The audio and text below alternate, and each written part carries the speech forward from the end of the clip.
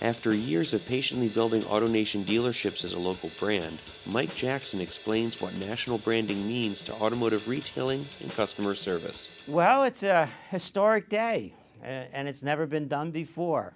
Uh, from coast to coast, 210 franchises, uh, 160 stores that are responsible for 82% of the volume of the 450,000 vehicles we sold last year. We're uniting under one brand, AutoNation.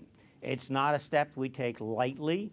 Some of our local, 15 local market brands have been in the marketplace 60, 70 years, but uh, we're absolutely convinced that we're ready to take this step. Now, we put some foundational blocks in place.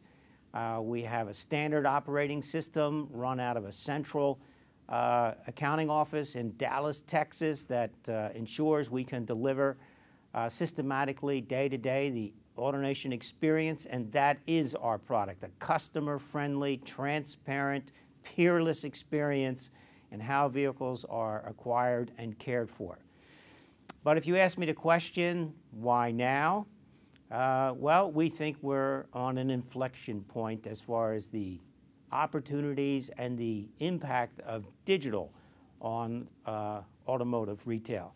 And uh, again, we've worked in this area for years. We think we have certain understanding and insights, but we are making an incremental investment or bet in digital capability. And at the end of the day, when we analyze that bet, there is no doubt in our minds that it pays off exponentially with one brand flag, coast to coast, AutoNation.